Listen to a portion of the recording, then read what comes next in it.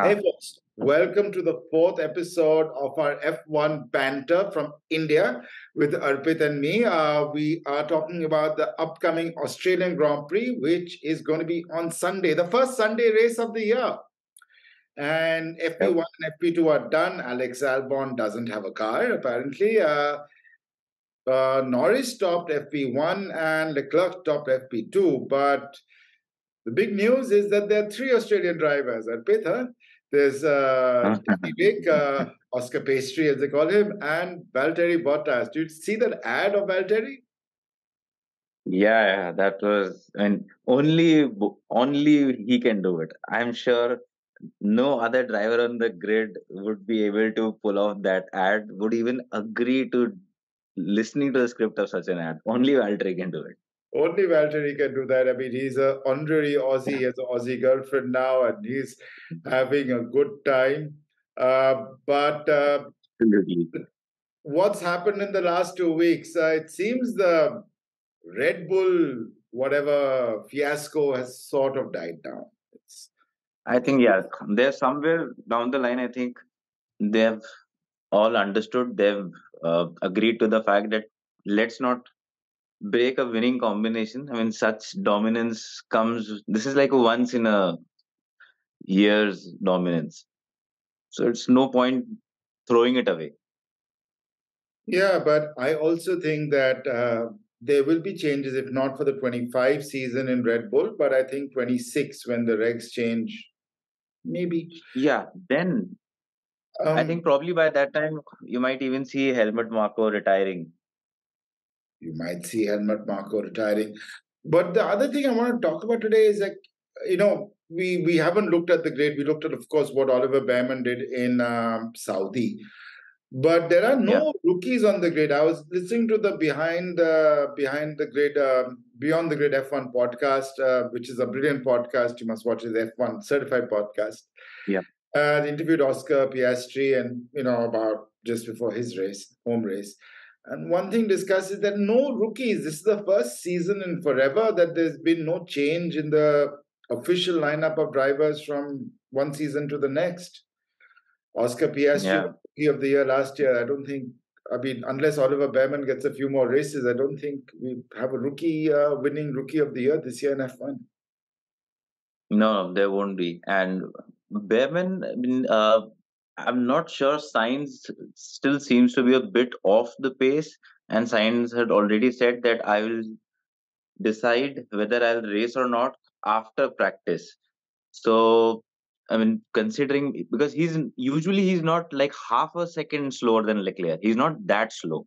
It's mostly a tenth or two, but uh, yeah but so there is a still a possibility that if he is not feeling comfortably you know comfortable in the car if he's not feeling physically fit he might just opt out and we might see Bearman again.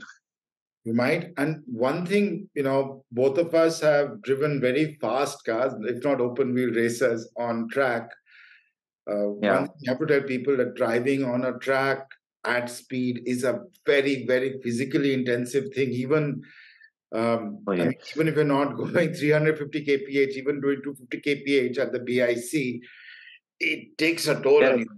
And then this track is very, very demanding. And you know, I mean, like even if like you told the cars we've driven, BIC is still, I mean, yeah, okay, but a track like MMRT, it's physically even more taxing. Brake speeding, you feel physically exhausted. I mean, Formula One drivers have the strongest neck muscles for a reason um, of any athlete in the Absolutely. world. And yeah, athletes. Let's not make any. But the coming back to the rookie drivers, uh, we saw with Oliver Bearman, we saw with Liam Lawson last year, um, and you're seeing with some of the other drivers, Kimi Antonelli and others in F2. Um, there are some very talented uh, young drivers coming up the grid, and let's be honest, uh, Alonso, even Hamilton, they're not young anymore. I mean, Alonso definitely. Alonso is almost as old uh, as old as you. Um, I, is it time yeah. F1 gets some new blood? I think they will. It'll all happen in uh in you know in quick succession because all of the old guys are holding on to it.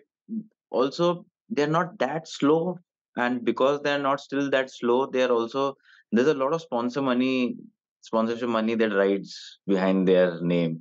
I mean, Alonso in himself, you know, having Alonso means you get a lot of Spanish uh, uh, sponsorship. Yeah. Yeah, and same is for Lewis. I mean, Lewis is a big name, so wherever Lewis follows, money follows. So, I mean, yeah, and because they're not slow, you know, so I mean, it's hard to like kind of ask them or expect them to leave.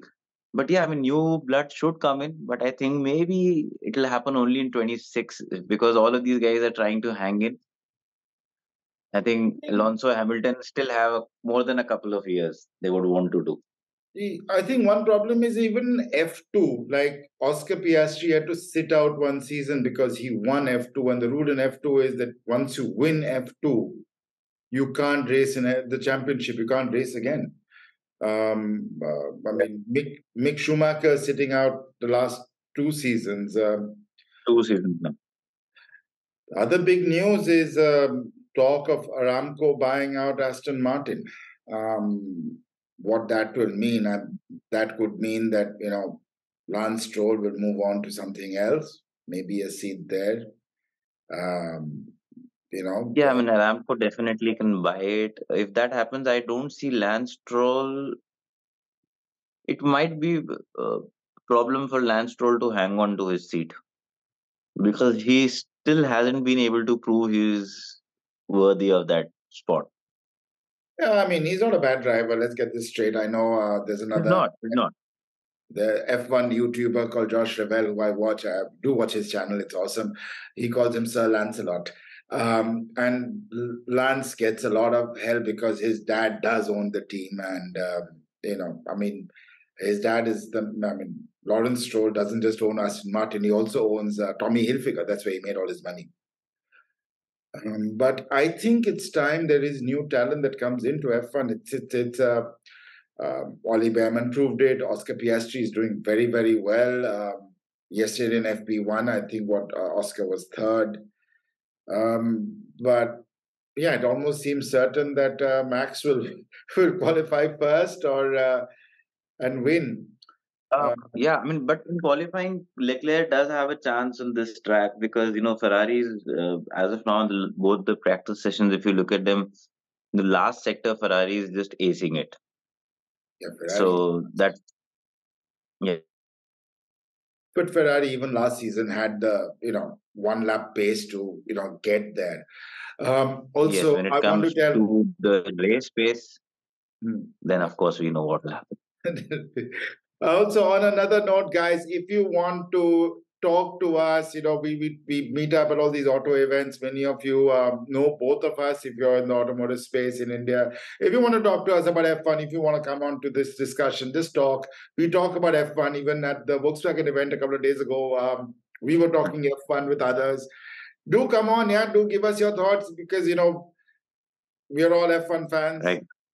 And we all have more the merrier the more the merrier. I mean, some of you might love Lewis, some of you might hate Lewis. Uh, somehow, Lewis seems to have the most uh, visceral reactions of any driver. Um, uh, so please do come on, give your thoughts. We'd really love to have you guys on board. Do let us know if you want to keep on seeing what should we discuss in future shows.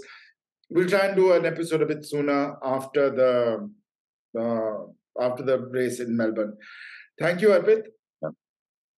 Thank you, Prashant. And uh, let's see when tomorrow. Also, it's an early morning start for everyone. This race, nine thirty is when the race will start. Nine thirty India time. So um, yeah, yeah, nine thirty India time, guys. Uh,